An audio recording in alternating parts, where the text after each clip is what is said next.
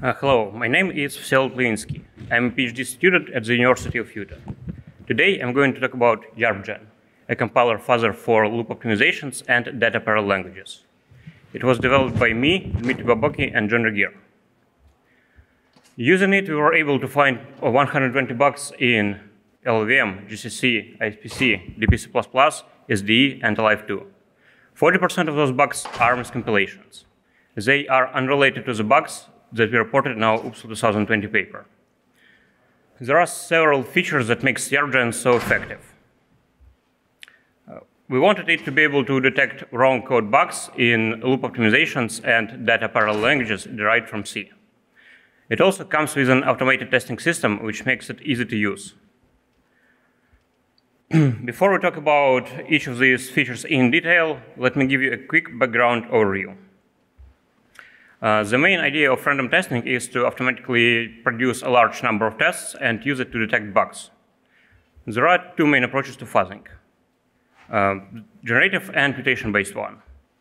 The first one does not require any external input.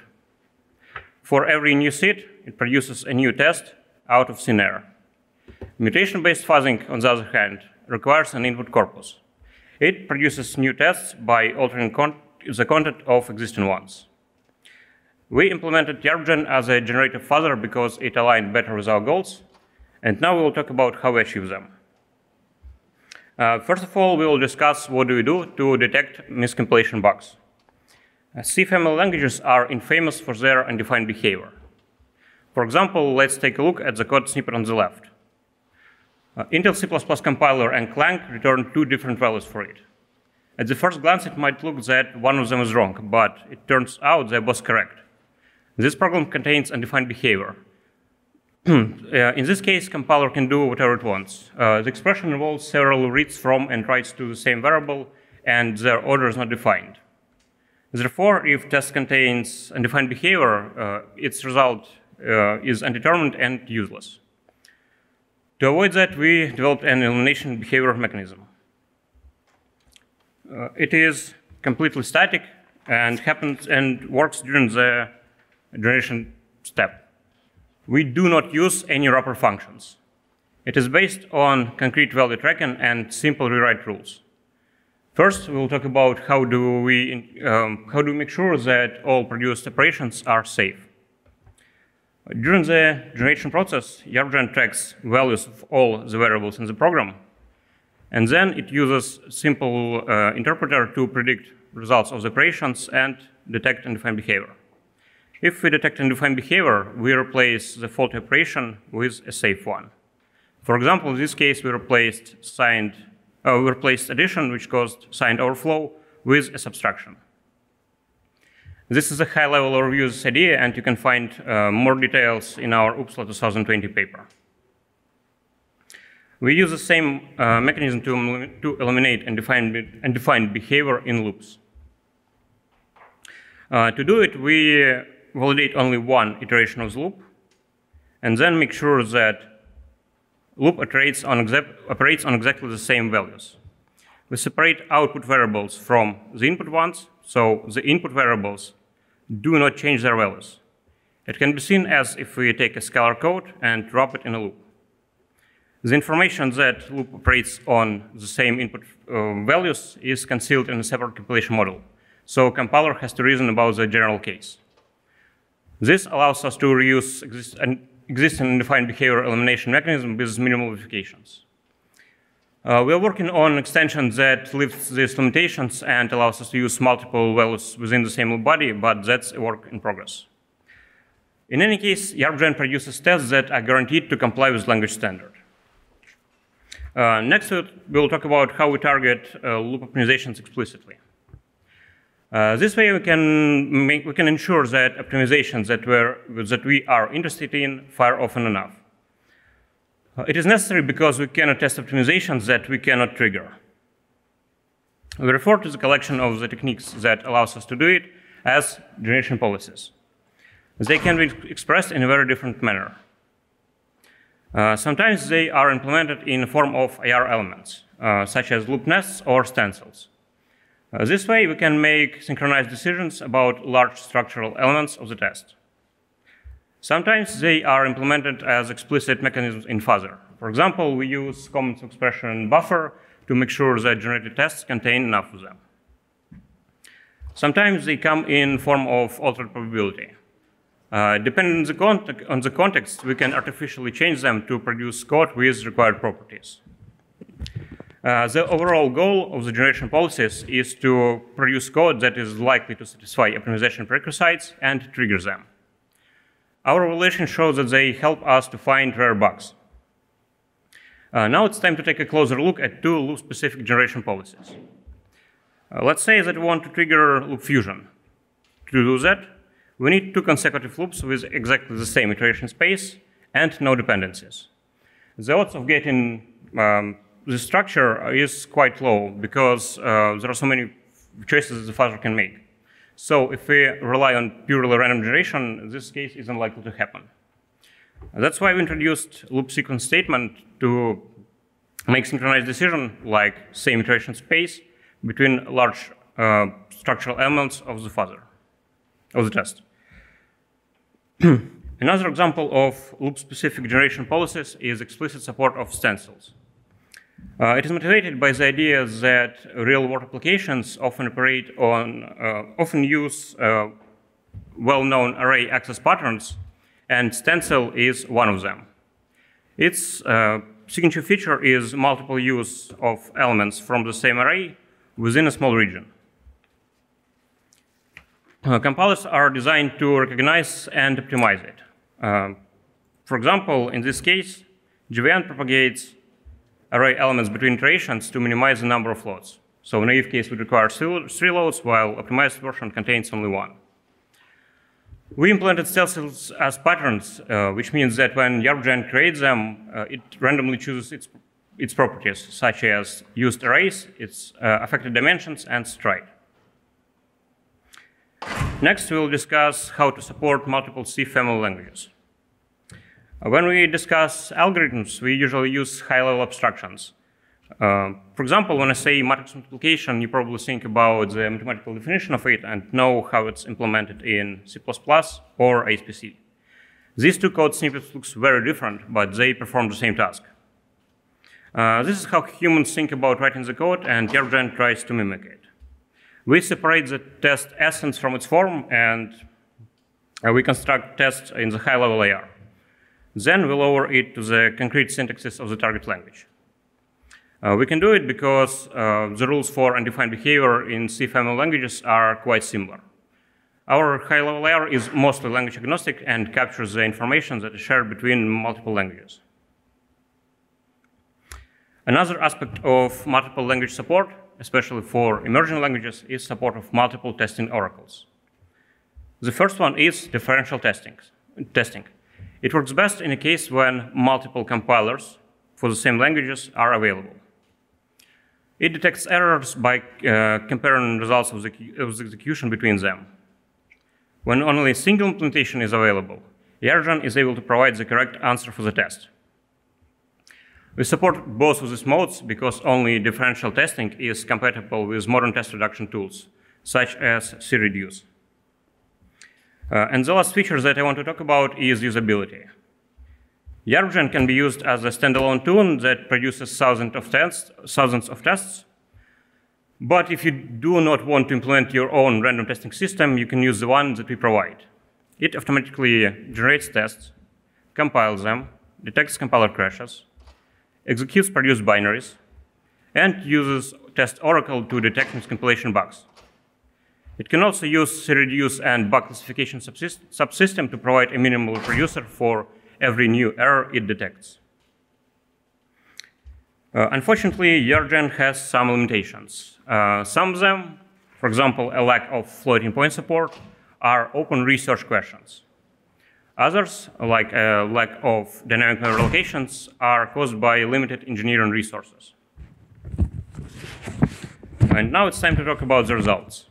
Uh, as I said, in total, we were able to report 120 bugs in different compilers and other tools. This slide shows the distribution uh, of reported bugs by kind. Uh, you might ask why there are so few wrong code errors in LLVM compared to GCC. One reason for that is that LLVM has more asserts, which helps is to catch bugs earlier.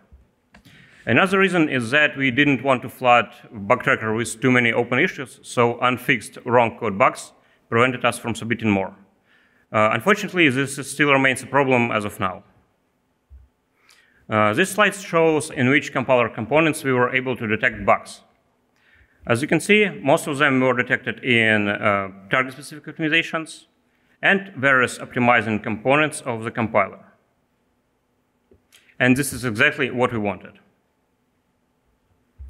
Um, most of the reported bugs were fixed. LLVM fixed 70% of them, while GCC managed to fix 95 and assign the rest.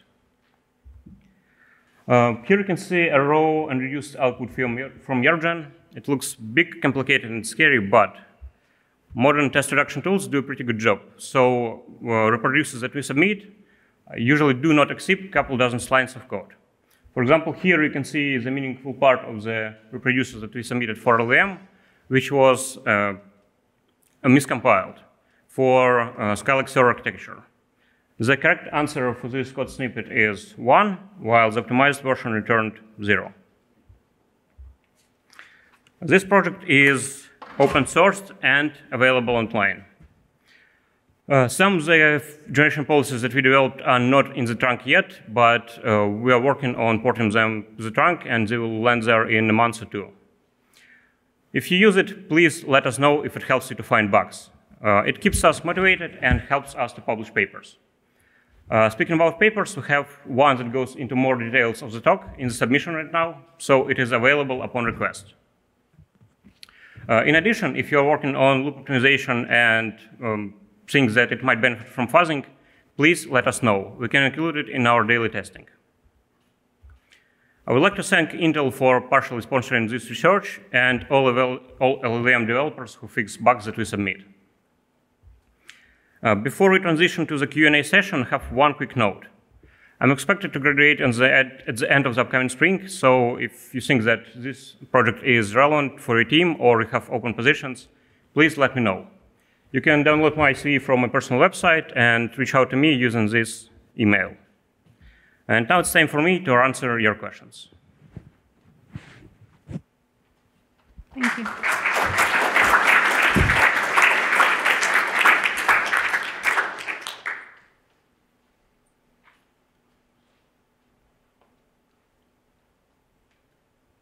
So you have essentially an interpreter of your own IR.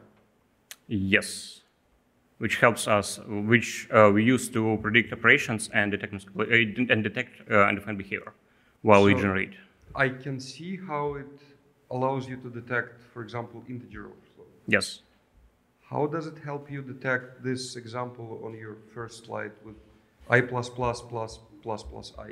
Uh, so we do not, uh, some of the features are avoided by construction, like we do not have pointer arithmetic, so we don't need to deal with that.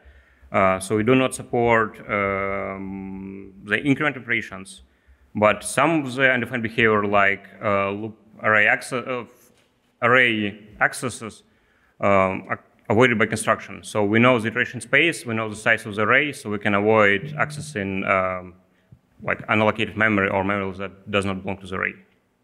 So like this feature is avoided by construction, we just do not generate it. Um,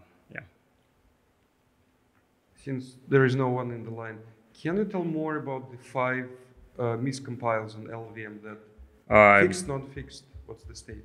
Uh, I do not have um, the status of them, but if you go to the website um, of the project um, on GitHub, uh, there is a bugs.rst file which tracks all the bugs that we submitted, and you can check it there.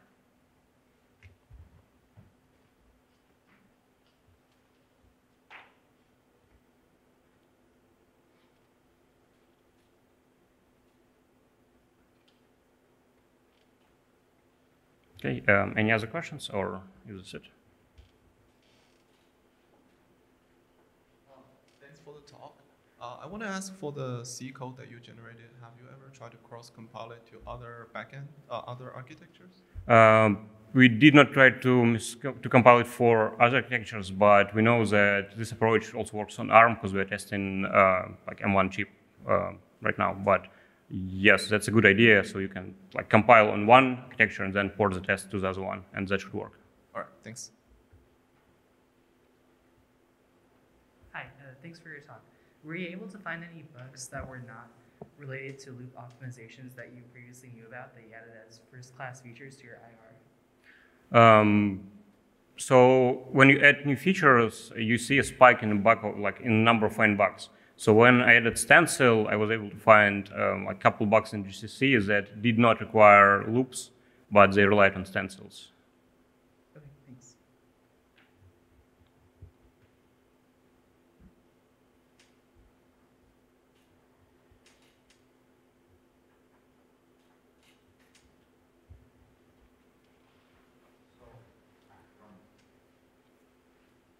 A comment after spending 10 seconds on the uh, bugs.rst. Mhm. Uh, it would really help to separate uh, compilation failures and assertions and Okay. miscompiles. They're very different classes of bugs uh, with respect to social issues in the Mhm. community. When you produce a bizarre code and the compiler crashes, this is this is not okay, but this is much more okay than if compiler miscompiles. Mhm. Uh, and so uh, I would love to track those things separately. Okay. Yeah, that's a good idea. Thank you. So you just mentioned that uh, when you add a new feature, you get a spike in failures. So I think a lot of the benefit that you're talking about here is, is in having an extensible framework. So can you talk about the implementation effort to add a new feature? It depends on the features. So, um, like they are implemented in, they're mostly implemented in like uh, three different ways, as I talked, as I said. Um, and um, if it's something that requires just restri- restricting probabilities, for example, uh, vectorizable loops has a very limited subset of operations that they can support. They do not support uh, unexpected exits. So this can be achieved if you just reduce the number of features that you um, a loop, and loop can become vectorizable. But for example, stencil requires a more is more involving because you need to make synchronized decision about okay, we need to generate like this pattern which will exist as a like as an explicit element in the IR. So um, the answer is depends on the feature. Sometimes uh, it's just like um, go there, detect that okay, this probability should be disabled, and it can be done in like in an hour. Others require like a couple days of work. For example, stencil or uh, like LoopNest uh, was designed from the start, so it might be really involving to add something like that on top.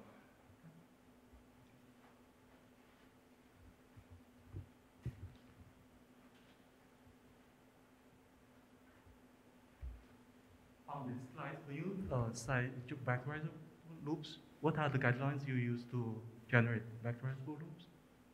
Um, sir, can you repeat the question, please? For here, you show like the skewed Yes. probability. There is a vectorizable loop. Yes.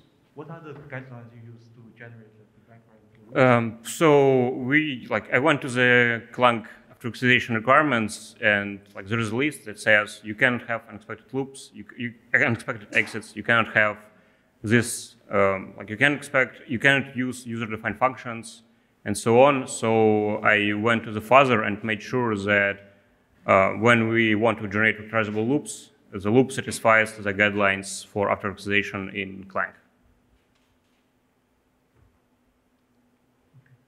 Thanks.